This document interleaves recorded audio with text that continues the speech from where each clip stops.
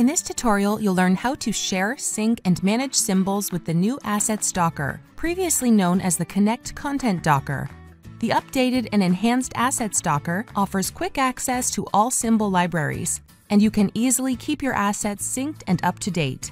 You'll also learn how to edit existing symbols. Before we get started, if you're watching this video on YouTube, you'll find a link in the description below that will take you to our tutorial page on the Discovery Center.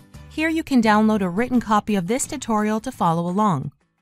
In this tutorial, I'm going to demonstrate the new Assets Docker that replaces the Connect Docker and is available for subscription users only. Go to Windows, Dockers, Assets. Under the search bar, we can select Local and Network Assets, which was formerly the Connect Docker. From here, you can browse through all the assets available by content or category. Next, we have the Cloud Assets section, and you can sign in to the cloud to download, upload, and share assets. The Cloud section contains all assets, including your own, and those that have been shared with you. And finally, we have the Linked Assets section that displays the assets you are using that have been linked to the cloud. There are so many benefits to asset management with the new Asset Docker, as it allows you to share symbols through the cloud with other designers. For example, if you design a symbol or logo that other designers are also using and later decide to make changes, the other designers will be notified that there is an update available and they can sync it to the source of truth. Let me demonstrate how this works. I have a CSL file that includes designs that have already been turned into symbols, and I want to save this file to the cloud to share with other users. To do this, open the Symbols Docker by going to Windows, Dockers, Symbols. In the top right, select the gear icon. Select the option Save to Cloud. Then add your title, select the folder you want to save to, and press Save. Now I have opened up a document and I want to sprinkle the brand symbol throughout this document on various pages. But first I need to link the CSL file into the design file. To do this, I'll go to the Assets Docker. Then click on the Cloud section and locate the CSL file we just saved to the cloud.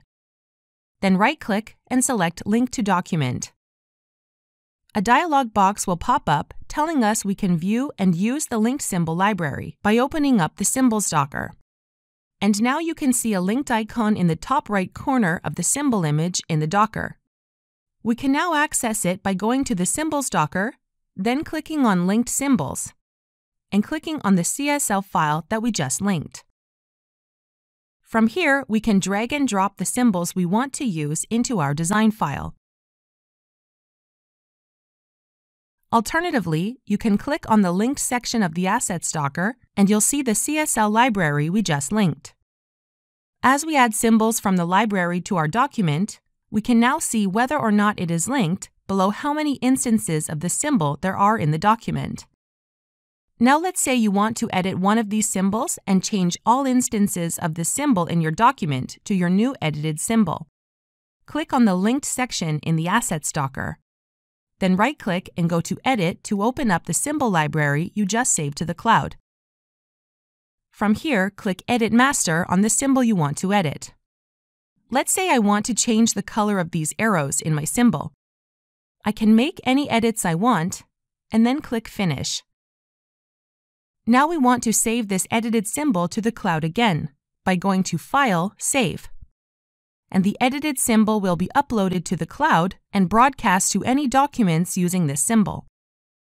So now if any user has a document using this symbol, they can click on the linked section of the Assets Docker.